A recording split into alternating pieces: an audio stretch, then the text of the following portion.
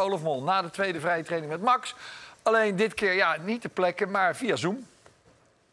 Hey Max, daar zitten we dan. Eh, een dag waarvan ontzettend veel fans en iedereen dacht van... ja, dit eh, hier hebben we heel lang op zitten wachten. En jij natuurlijk ook, weet je, los van tijden en allerlei andere dingen.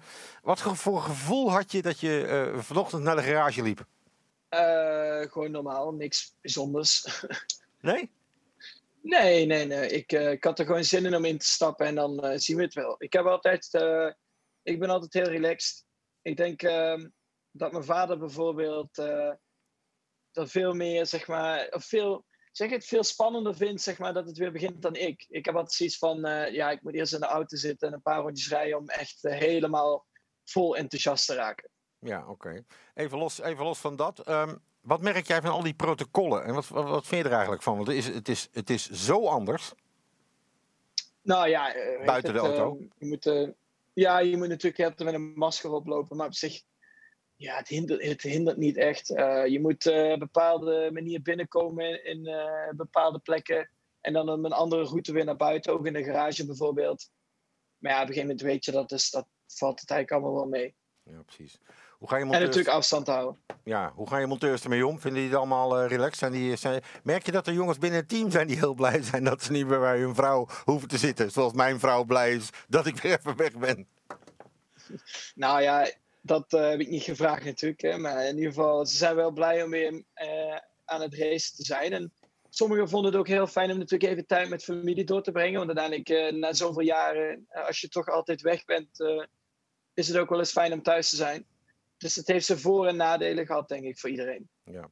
Heb jij inmiddels in de tussentijd leren punniken, breien en al dat soort dingen? Of is het bij jou toch wel wat normaler gebleven? Nee, uh, nee, dat heb ik even overgeslagen. Ik denk, uh, nee, ik heb gewoon fijn mijn dingen gedaan. Um, gelukkig um, op een gegeven moment in Monaco ging ook best wel veel weer open. Dus dat is ook altijd fijn. mooi meegenomen. Um, en ja, gewoon veel voorbereid, veel getraind thuis. Want daar had je natuurlijk ook veel tijd voor nu, zonder dat je ergens naartoe hoefde. Ja, Oké, komen we aan bij eh, VT1, half vochtig, een beetje wel. Een paar mensen nog wat op intermediates, doen we niet. Het is uiteindelijk veel droger gebleven vandaag dan we dachten. En je zegt net al een paar rondjes, dan komt lekker dat gevoel. Uh, hoeveel rondjes waren dat? Vier, vijf, zes? Ja, drie, vier rondjes. Even de rempunten weer zoeken. En uh, ja, snelheid valt, valt wel mee. Je hebt het natuurlijk al een paar jaar nu gedaan. Dus was niet even...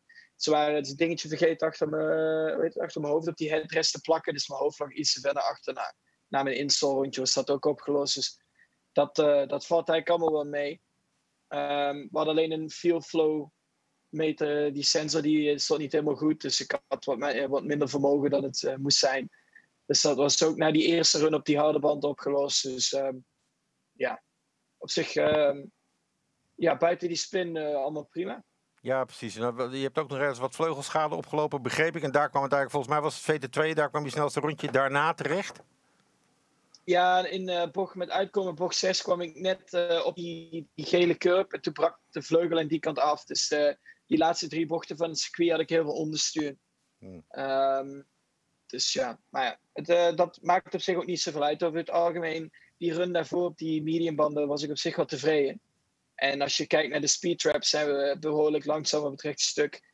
Dus daar, mag, daar maak ik me ook nog niet zoveel zorgen over. Dus uh, we moeten gewoon zorgen dat we nog een paar dingetjes aan de auto aanpassen. En dan heb ik er wel vertrouwen in dat we morgen voor een uh, mooi resultaat kunnen gaan. Hey, die broodjes die weg zijn hè, bij uh, bocht 9 en 10, dat is wel prettig lijkt mij. Ja, dat, daar was ook het meeste schade normaal natuurlijk altijd aan de vleugels. Um, natuurlijk ga je altijd overal de limiet opzoeken. Dus dat heb ik vandaag in ieder geval gedaan. En dan hoeven we dat, hoeven we dat morgen in ieder geval niet te doen. Uh, nieuwe krachtbron van Honda hebben we begrepen, of althans een nieuwe spec daarbij. Uh, meer dan een raceafstand qua rondjes. Al met al, denk ik, een hele goede vrijdag, wat dat betreft. Ja, ja nou, alles is gewoon uh, naar wens verlopen. Natuurlijk, misschien bepaalde mensen maken zich druk over de snelheid, maar dat heb ik niet. Kijk, rondetijden vertellen alles en was ook niet de meest vloeiende sessie. Dus ik kijk uit naar morgen. Ja, einde van de dag wordt dan bekend dat uh, jouw team, Red Bull Racing, officieel dat protest aangaat voor dat DAS-systeem. Word jij daarin gekend ja. of zeg je van nee, dat is Christian, dat is dingen, ik geloof het allemaal wel? nou ja, ik ben niet degene wat natuurlijk het protest indient. Hè. Dat is natuurlijk uh, aan, de, aan de teamleiding om, om dat soort dingen te doen. En uh, ja, we zien het dan wel.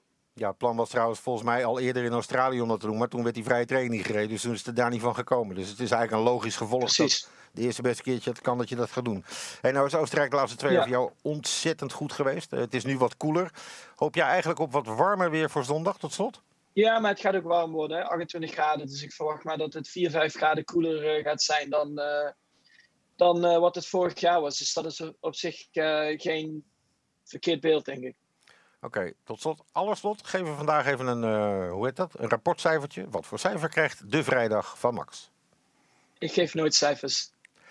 Goed of slecht? geen cijfers. Goed, prima. Was gewoon helemaal fijn.